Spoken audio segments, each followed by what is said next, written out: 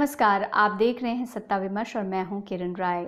एक बार फिर बात एसएसआर यानी सुशांत सिंह राजपूत से जुड़ी हुई। बिहार चुनाव को लेकर राजनीतिक विश्लेषकों का कहना है कि यहाँ चुनाव हमेशा, हम जानते हैं कि जातिगत वोटों के समीकरण से ही लड़े जाते रहे हैं। जाति आधारित राजनीति के लिए मशहूर बिहार में वोटों की जातिगत ताकत पर गौर करें तो सबसे ज़्यादा ओबीसी की आबादी कुल इक्यावन फ़ीसदी।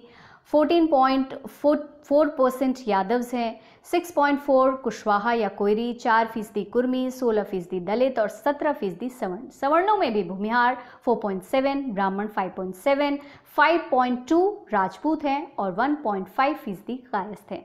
इसके अलावा 16 फ़ीसदी वोट मुस्लिम वोटर्स के हैं। गौर करने की बात यह है कि नीतीश कुमार के साथ कुर्मी वोटरों के अलावा दलित वोटरों का बड़ा वोट बैंक है। नीतीश कुमार ने मुस्लिम वोट बैंक में भी सेंधमारी कर रखी है। सवर्ण वोटर अमूमन भाजपा के साथ है। खासतौर पर शहरी आबादी में भूमिहार और कायस्थ भाजपा के साथ हमेशा रहा है।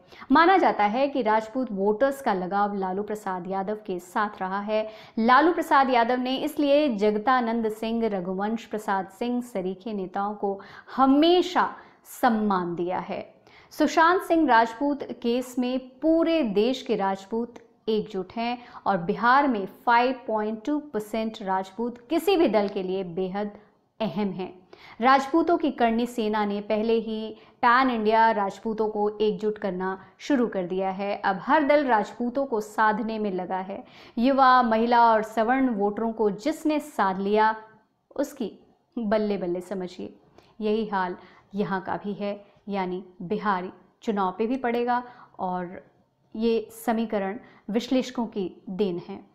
फ़िलहाल के लिए इतना ही, देखते और सुनते रहिए सत्ता विमर्श।